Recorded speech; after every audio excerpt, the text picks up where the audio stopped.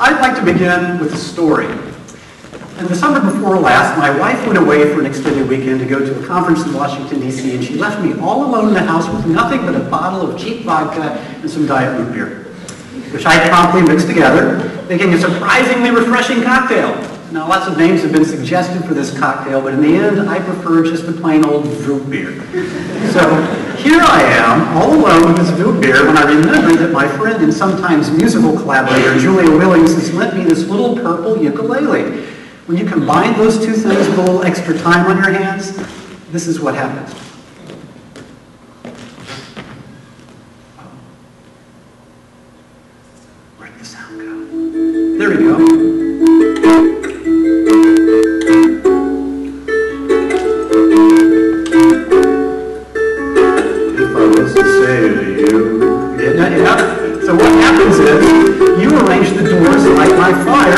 Solo ukulele. You promptly take a video of yourself doing it, and you post it on YouTube for the entire world to see. Or, as I like to call it, doing engineering. So to convince you that, in fact, yes, engineering is just like playing the doors on solo ukulele. Now, I know what you're thinking to yourself. This, right? He's crazy, right? But if you put aside your skepticism for a little bit, I'm going to give you at least five reasons why these are in fact the same activity. Here's reason number one. The significant amounts of time and practice and education involved. I didn't just pick up that ukulele and start playing Light My Fire. I had been a student of music for years before I got to the point where I could write a song or arrange a song. But you know, just studying music is not enough. To really do music, you have to do music, and that means learning to play a musical instrument. And that in turn means thousands of hours of practice, most of the time playing the wrong notes. So anybody that's learned to play a musical instrument knows the road to proficiency is paved with ear-assaulting cacophony. It's just awful. And that sounds a lot to me, though, like an engineering education, which takes at least four years of post-secondary education to get good at. And it requires you to learn to play the tools of engineering, problem-solving techniques, hardware, software, all those things, thousands of hours of practice in the form of homework, labs, and projects, most of the time getting it wrong, as exemplified by professors bleeding buckets of red ink all over their students' work. So in the end, if you want to be an engineer or you want to arrange psychedelic pop tunes on ukulele, it takes a long time and a lot of dedication.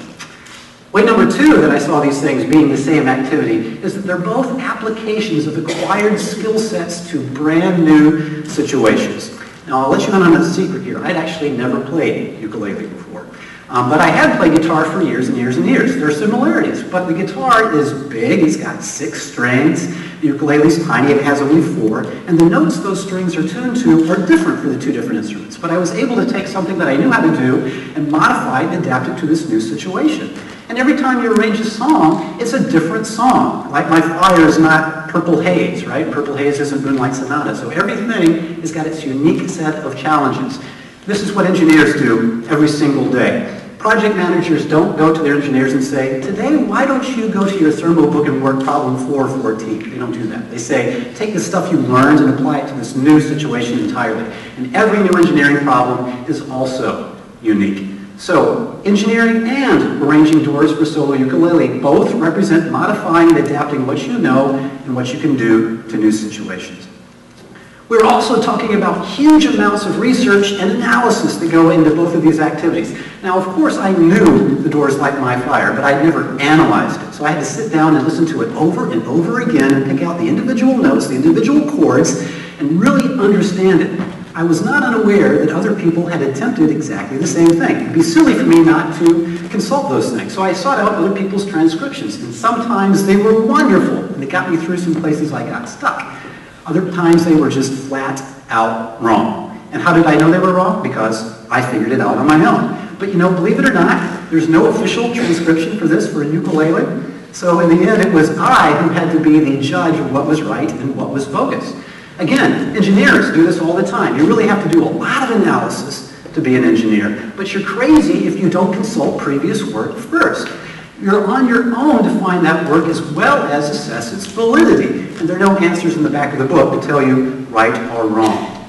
So, once again, we see the similarities. It's up to you, either as an engineer or as an arranger, to hunt down information as well as decide if it's accurate or if it's even relevant to what you're trying to do. Four, these are both problems of constrained optimization. To tell the truth, this is where I knew that what I was doing was really engineering. The Doors' original tune has got a keyboard part, it's got a bass part, it's got a guitar part, a drum part, a vocal part. And I wanted to do all of that at one time on one instrument that's got four strings and barely a two-octave range. That's a huge number of constraints, but that's exactly what engineering is.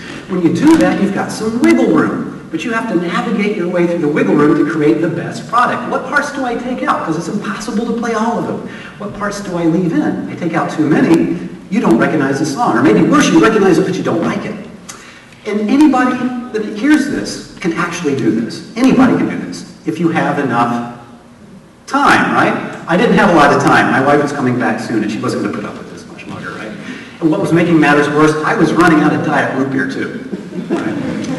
So I'm going to go out on a limb here. I'm going to say not only is this like engineering, I'm going to say this is the very definition of engineering. That is solving problems in an environment of certain unalterable constraints. And here's just kind of a mundane example. You've got to design a heat exchanger. It's got a certain load. It's got to be small enough to fit in the closet. You can't change those things.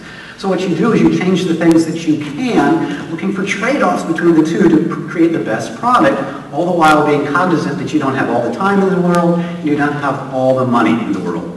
Engineering is about doing the best with what you have, but also ensuring that that best is in fact good enough. And the final way that I was pretty sure what I was doing was engineering was that I was learning so much. Every time I do engineering, I'm learning more about engineering. Here's just a short list of things that I learned when I was engineering this tune for ukulele. First off, I learned how to play an F-sharp minor chord. Okay? So if you play ukulele, you look at that and go, of course that's an F-sharp minor. Remember, I'm coming at this from the uh, perspective of a guitarist. I'm applying an acquired skill set to a new situation, right? So when I figured out this chord, I didn't think F sharp minor. I thought that's a D major 7 chord, but without the D. And then I thought, wow, if I take any major 7 chord and I drop the root, it becomes a minor chord two whole steps up.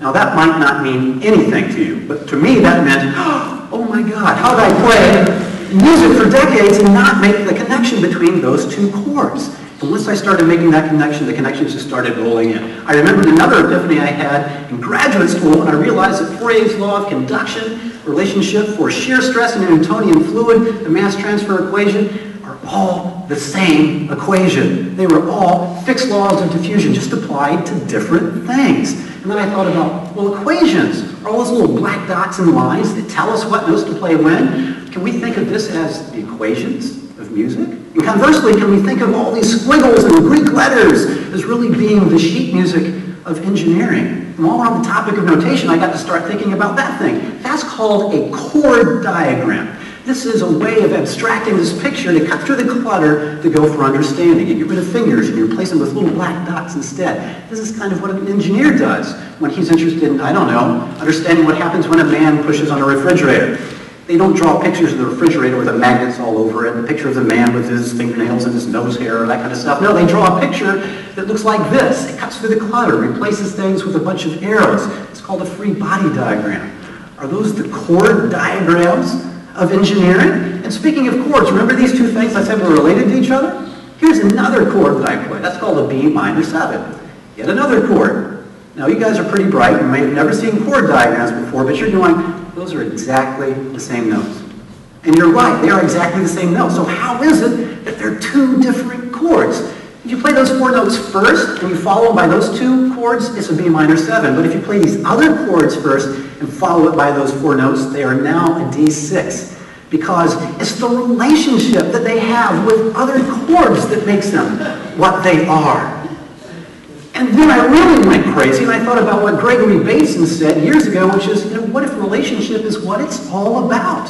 What if we've got it all wrong? As engineers, we think about, here's this thing that's hot, here's this thing that's cold, and therefore energy goes from the hot thing to the cold thing. What if that's completely upside down? What if it is energy goes from thing one to thing two, and that's what makes thing one hot?